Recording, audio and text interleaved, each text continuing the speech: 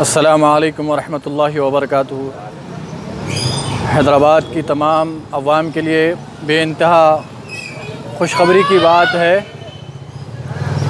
کہ سرزمین جہنما پر خریف فیض سپلائنگ کمپنی کے پاس عظیم الشان پیمانے پر آٹھواں مرکزی جلسہ جشن عید میلاد النبی صلی اللہ علیہ وسلم منایا جا رہا ہے۔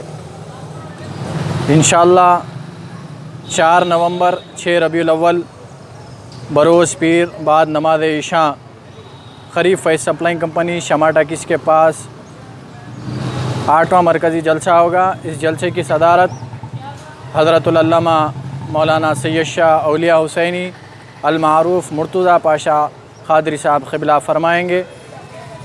اور اس جلسے کی سرپرستی حضرت مولانا محمد مظفر خان بندہ نوازی صاحب فرمائیں گے۔ ان کے علاوہ نامور عالم دین،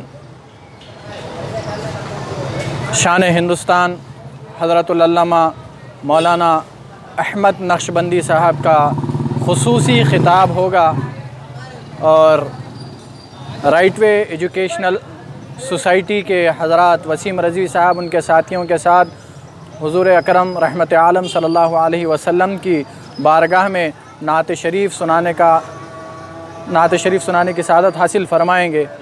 میں آپ تمامی حضرات سے جہاں تک یہ ویڈیو پہنچ رہی ہے، جہاں تک عاشقان رسول کے پاس یہ میرا میسیج پہنچ رہا ہے۔ میں ان تمام سے گزارش کرتا ہوں تکبیر! کہ اپنی قیمتی مصروفیات کو ترک کرتے ہوئے تکبیر! چار نومبر کو بروز پیر کے دن بعد نماز عشاء جہنما خریف فیض سپلائنگ کمپنی کے پاس ضرور بضرور تشریف لائیں۔ شکریہ جزاک اللہ اللہ